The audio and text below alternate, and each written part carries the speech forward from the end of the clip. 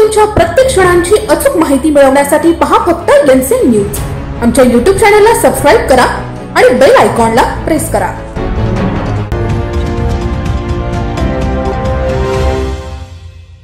सातपूरच्या छत्रपती शिवाजी विद्यालयात चार वृक्ष तोडीची मनपाकडून परवानगी घेतली. मात्र याचवेळी इतर नऊ भरदार वृक्षांची विना परवानगी कत्तल करण्यात आली होती. गेल्या दीड ते दोन महिन्यांचा काळ उलटूनही शाळा व्यवस्थापनावर महानगरपालिकेच्या वतीनं कुठलीही कारवाई न झाल्यानं मनपा अधिकारी आणि शाळा व्यवस्थापक यांच्यात आर्थिक देवाणघेवाण झाल्याची चर्चा सातपूर शहरात सुरू आहे. या दरम्यान मनपाने झाडांवर खिळे ठोकत जाहिरात करणाऱ्यांवर अनेकांवर गुन्हे दाखल केले होते. मात्र या ठिकाणी नऊ वृक्षांची विना परवानगी कत्तल करूनही मनपाकडून कुठलीही कारवाई होत नाही हे विशेष. या प्रकरणी कारवाई का झाली नाही हा प्रश्न विभागीय अधिकारी नितीन नेर आणि उद्यान निरीक्षक प्रकाश चौकटे यांना विचारले असता दोघांनीही मनपाच्या भोंगळ कारभाराला शोभेल असे उत्तर दिले. आम्ही पत्र दिलेलं पोलीस स्टेशनला एफ आरच्या बाबतीत. होणार नाही का?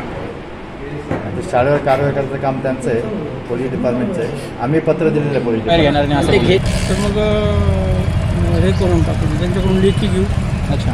लेखी जर नाही दिलं तर मग निरसन म्हणले विभागीय अधिकारी त्यांना स्पष्ट नका तज्ञ आहेत ते वृक्षतज्ञ. हां. त्यांना भेटून घेते मला डिटेल सांगितलं त्यांच्याकडे सगळं रेकॉर्ड आहे. अच्छा पण उद्यान विभागाचे निरीक्षक म्हणून प्रमुख तुम्ही आहात.